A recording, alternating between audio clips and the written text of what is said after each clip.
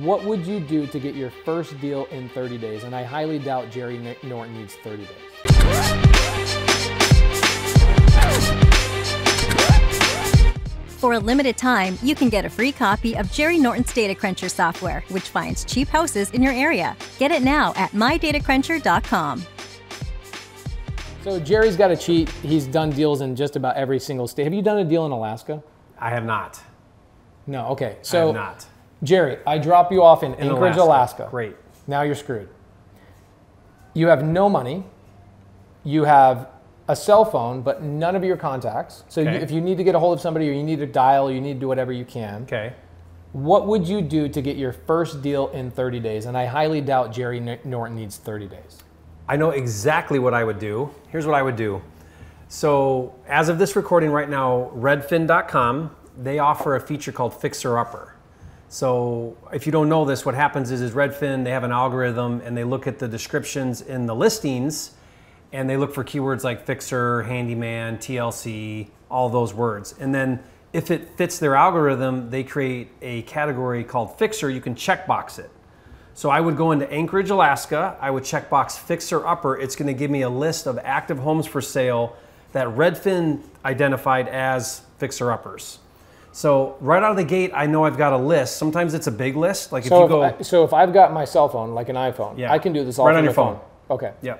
So then I would do that. I would get a short list of what they would call active for sale fixer uppers, and then I would start working through that list. Now the reason why is because it's a distressed property. It's it's on market now, so it's not off market. So that means there's real estate agents.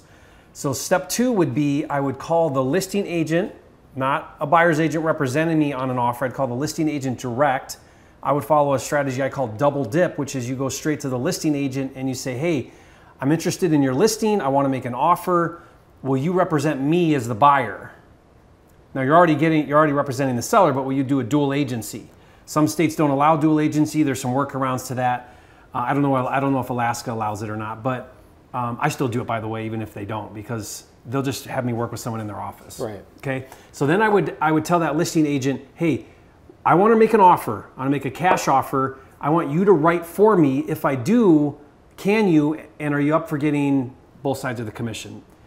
Nine out of ten times they're all over this because you doubled their commission now. Right. They're going from three percent to six percent, right? Because they get three for the seller, three for the buyer side. Right. Now they're highly motivated. So the next thing I would do is I'd say, okay, I'd look at comps right on Redfin. You can do it. I'd look at comps. I'd say I'd run my formula. I'd figure out where's a good deal. I would make that offer to that to that agent, and I'd say, call up the seller right now, make a cash offer. Let's see if we can put a deal together. Um, what I found is depending on how long it's been out for sale, the price, the real estate agent, all of the same factors we always have when we're looking at leads, is I can usually find, if I do this enough, if I call enough times, I can usually find an agent who's hungry enough to, to present my offer to the seller, the, a seller motivated enough to look at a cash offer. Um, ideally, if the property just came out, I've got a much bigger shot at it because I'm first. I'm first to the deal. So you're not going after houses that have been listed for four or five months. You're going after houses that are pretty new. But, I start but they're with- fixer uppers. Yes. Okay. So I start. I put a filter with the newest to oldest, and I start with the newest ones. But some of my best deals have been the ones listed for the longest. Yeah. Same as you do with creative financing. It's sitting there. It's not moving. Maybe they're motivated. So right? what's my opening line to the agent?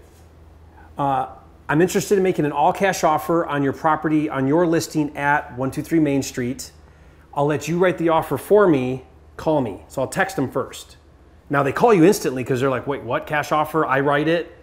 I'm all in. So they'll call me right away.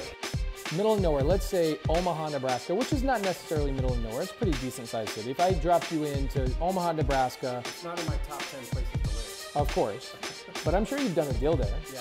Right. That's the problem with Jerry is he's done a deal everywhere. So this is kind of a cheat code. Some some people I interview